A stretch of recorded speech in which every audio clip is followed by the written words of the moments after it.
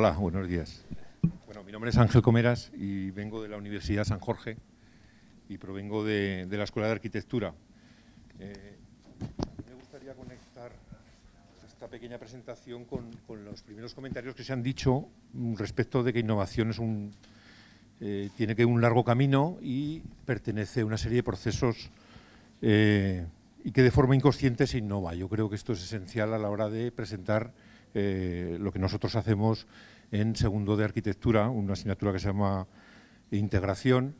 que eh, entendemos que es una asignatura multidisciplinar, es decir, que, acoge y transversaliza con muchas áreas del conocimiento y que eh, hay un elemento fundamental desde la arquitectura que es la sociedad. entendemos que la arquitectura es por y para la sociedad y nosotros proponemos trabajar desde la sociedad, es decir,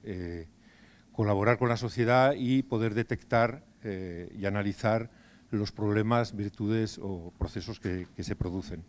Para ello llevamos cuatro años trabajando con personas con discapacidad intelectual, estudiantes de arquitectura, estudiantes de ciencias de la salud, como son farmacia, enfermería, fisioterapia, y, llevamos produciendo unos, unos talleres a lo largo de, un proceso de aproximadamente mes y medio, eh, donde eh, creemos que se establece una metodología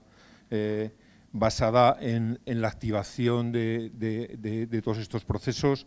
y, fundamentalmente en, el inicio hacia caminos desconocidos y no prefijar nunca ningún posible resultado, sino que mediante una planificación previa dejar que la activación de las personas, la interacción entre, ellas y la, comunicación entre las distintas áreas de, conocimiento eh, produzcan resultados satisfactorios. Gracias.